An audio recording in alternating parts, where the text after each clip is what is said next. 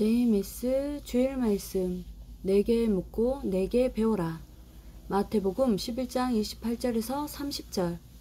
수고하고 무거운 짐진 자들아 다 내게로 오라. 내가 너희를 쉬게 하리라. 나는 마음이 온유하고 겸손하니 나의 멍에를 메고 내게 배우라. 그러면 너희 마음이 쉼을 얻으리니 이는 내 멍에는 쉽고 내 짐은 가벼움이라 하시니라 모세 때는 하나님이 보내신 자, 오직 모세에게 배워야 더 이상 없이 잘 가르쳐 줬다. 선지자 때는 하나님이 보내신 자, 오직 선지자에게 배워야 가장 잘 가르쳐 줬고 가장 잘 인도해 줬다. 그들을 통해 하나님이 말씀해 주셨다. 예수님 메시아가 왔을 때는 오직 예수님이 내게 물어보고 내게 배우라 하셨다. 이 시대는 이 시대에 보낸 자에게만 배워야 된다. 신약 때 예수님은 신약 말씀을 가르쳐 주셨다. 제자들이 각자 듣고 그대로 기록하여 사람들에게 가르쳐 줬다. 메시아 말씀을 듣고 자기 사고나 주관이나 생각을 더해서 가르쳐 주면 그는 제자도 아니고 메시아 증거의 사명자도 아니다. 신약 성경을 보면 예수님 말씀을 들은 자들이 제 각기 기록했다. 들은 자들이 한 사건을 두고 기록한 것을 보면 어떤 제자는 부활을 두고도 영의 부활 쪽으로 확실하게 기록하고 어떤 제자는 육의 부활 쪽으로 더 치우쳐 기록하기도 했다. 몰라서 그리했다. 그런 차이는 기록자가 영적 신앙인이냐, 육적 신앙인이냐에 따라 생긴다. 영적인 신앙자는 영적으로 부활한 예수님의 영을 직접 보고 기록하고 육적인 신앙자는 육적의 비중을 더 두고 기록한 문장을 볼 수 있다. 어떻게 보느냐 하는 것은 사실 근거가 확실해야 되는데 예수님이 십자가에 죽고 부활하신 후에 육이 돌아다닌 적은 한 번도 없었고 육이 살았다는 근거가 성경에는 없다. 영 부활인 근거. 2000년 동안 신약 역사를 예수님은 영으로 다스려 왔다. 예수님 육이 십자가에 돌아가시고 부활하신 이후 그 육을 본 자가 한 명도 없다. 보았으면 간증들을 온 세계로 하고 다녔을 것이다. 사탄도 예수님 육이 살았다고 안 한다. 어떤 죄도 증거가 불충분하면 성립이 안 되듯이 육 부활도 그러하다. 예수님의 영 부활이지 육 부활의 증거는 100%가 아니다. 육 부활은 증거가 불충분한 사실이다. 예수님 육이 살았으면 그 당세 예수님이 살아나기를 원하는 제자들과 그렇게도 땅을 치며 억울해서 울던 자와 마리아 어머니께 나타나지 않았을까? 그리고 왜 하나님의 신약 역사를 펴지 않고 하나님께로 영이 승천하셨을까? 예수님 영이 승천하실 때 옆에 천사들이 말하기를 이 예수는 너희가 본 그대로 온다 하였다. 사도행전 1장 9절에서 11절 이 말씀을 마치시고 저희 보는 데서 올리어 가시니 구름이 저를 가리워 보이지 않게 하더라. 올라가실 때에 제자들이 자세히 하늘을 쳐다보고 있는데 흰옷 입은 두 사람이 저희 곁에 서서 가로되 갈릴리 사람들아 어찌하여 서서 하늘을 쳐다보느냐 너희 가운데서 하늘로 올리우신 이 예수는 하늘로 가심을 본 그대로 오시리라 하였느니라 영이 가셨으니 영으로 오신다 합니다. 예수님의 육을 기다리는 자들에게는 앞으로 천년을 기다려도 안 오시니 지금부터 내게 물어보고 내게 배워라 하고 말한다. 예수님 당세 때 죽은 자를 살린 것이 몇 번 있었지만 그들 역시 이후 때가 되어 다 죽었다. 예수님이 죽은 자들을 부활시킨 것 모두는 성경을 보면 100%다. 영의 부활로 말하였다. 사망 지옥에 안 매이고 하나님의 생명의 주관권으로 나온 것이 영의 부활이다. 그리고 하나님을 안 믿고 인생 허무하게 살던 자들이 하나님과 메시아를 믿고 살게 되니 그 육들이 하나님을 사랑하고 살며 죄를 늘 회개하고 부활된 삶을 살았다. 요한복음 5장에서도 예수님은 부활에 대해서 내 말 듣고 내 아버지 하나님을 믿으면 너희가 사망에서 생명으로 나오리라 하셨다.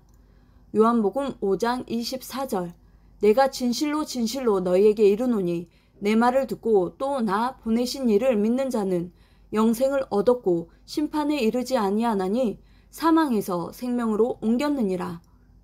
메시아가 전한 말을 듣고 그를 보내신 하나님을 믿으면 육이 사망권에서 나온 자가 되어 부활된 것이고 그 정신과 혼과 영도 사망권에서 생명권으로 나와 부활한 것이다. 영을 사망에서 살려야 영혼이 황금 천국에서 하나님 성령 주와 산다. 누구든지 하나님이 보낸 메시아를 믿고 하나님을 믿고 사랑하며 진리를 행하고 살면 육도 부활이 되고 영도 혼도 마음도 부활이 된 것이다. 고린도 전서 15장에서 예수님 부활이 없으면 우리 소망이 뭐냐 한 것은 영원한 영의 부활이 없으면 무슨 희망이냐고 말한 것이다.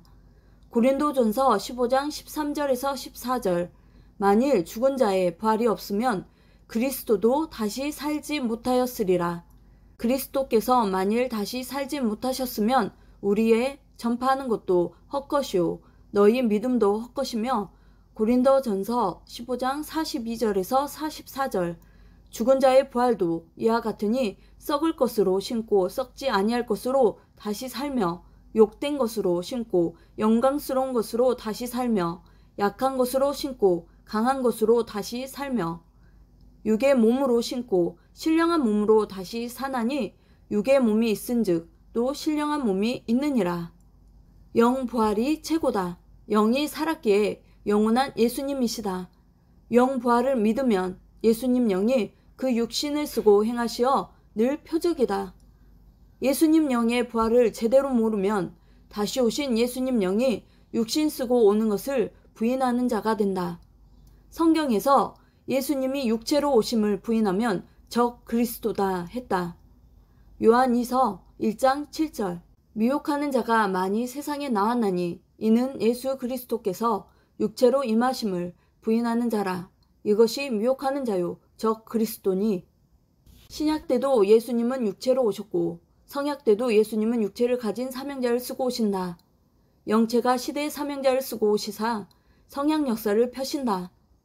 신약 시대 2000년 동안에도 예수님 영체는 자기를 주로 믿는 신약인들 그 육을 쓰고 하셨다. 그러다 성약 때 다시 약속대로 신랑으로 오셔서 육신 쓰고 신부 역사를 펴고 있다. 구약 시대 하나님이 말씀하시기를 나 여호와의 영이 강림한다. 영체 신으로 온다 하셨다. 그리고 하나님은 신약 때 예수님의 육신을 쓰고 오셨다. 신약 때 예수님은 때가 되면 재림하여 다시 오신다고 하였다. 영이신이 그 육을 쓰고 와서 가르치고 구원하신다. 예수님 영도 우리 영들이나 혼들에게는 말을 하고 같은 영에 속해 있어서 대화한다.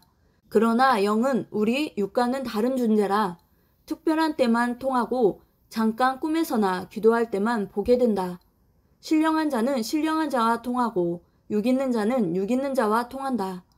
하나님도 성령도 육신 쓰고 행하신다. 영은 육신 세상에 나타나 사명을 하고 목적을 이루려면 육신 쓰고 해야 되고 영의 세계에서 육신이 사명을 하려면 육신이 기도하여 자기 혼이나 영을 통해 해야 된다. 이것이 신앙의 지식이요 지혜다. 자기 마음과 생각, 혼과 영이 자기 육신 쓰고 육에게 행하고 육은 영과 혼을 시켜 영계의 일을 알아보고 행한다. 이것이 이치이듯이 영의 존재체이신 삼위와 예수님은 자기를 믿는 한몸 같은 육을 쓰고 행하신다. 지금도 그렇게 하신다. 말세, 부활, 휴거, 성령, 성자, 삼위체에 대해서도 이미 다 가르쳐 줬다. 창세기 하나님이 하나님의 형상과 모양으로 사람을 창조한다 하고 답을 주셨다. 고로 하나님은 사람같이 눈, 코, 귀, 입, 손, 발 등 지체가 있는 영체의 몸이다. 성령은 여성 존재체, 하나님은 남성 존재체다. 이는 천하가 변해도 변치 않는 영원한 말이다. 예수님의 재림을 맞고 사는 자들은 힘과 능력, 폐기와 용기, 사랑이 충만하고 삼위와 예수님과 함께 그 6인 사명자와 같이 살아서 역사길을 달려간다. 고로 자부심을 가지고 해야 된다. 하나님은 진리요, 사랑이요. 예수님도 구원자도 그러하다. 구약인들은 완전히 신약 역사의 소경이었다. 신약인들이 예수를 하나님이 보내시고 그 육을 쓰고 행하시니 메시아로 믿고 살라 하고 외치면 그는 적 그리스도다 라고 했다. 그런데 예수님이 겨우 3년 동안 복음을 전한 것이 온 세계로 번져 지금 30억 가까이 믿고 있다. 하나님이 예수님을 메시아로 보내고서 그를 통해 행하셨기 때문이다. 구원의 역사는 죽는 날까지 하나님, 예수님, 성령님이 그 육을 쓰고 하신다. 또 저마다 행한 대로 갚아주시고 은밀하게 행할 것을 다 하신다. 하나님이 보낸 자는 표상자로서 시대의 비방의 표적이요 핍박과 박해의 표적이 된다. 예수님 때도 그러했다. 누가복음 2장 34절 시므온이 저희에게 축복하고 그 모친 마리아에게 일러 가로되 보라 이 아이는 이스라엘 중 많은 사람의 패하고 흥함을 이해하며 비방을 받는 표적되기 위하여 세움을 입었고 하지만 하나님이 보낸 자를 대하는 대로 하나님은 그 시대도 그 민족도 각종 축복과 하로 대하신다. 어떻게 행하는지 보면 그 대가도 어떻게 받는지 다 안다. 하나님은 예수님과 성령과 함께 온전한 진리편에서 행하신다.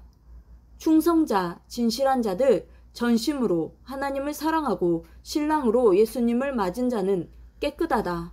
아멘.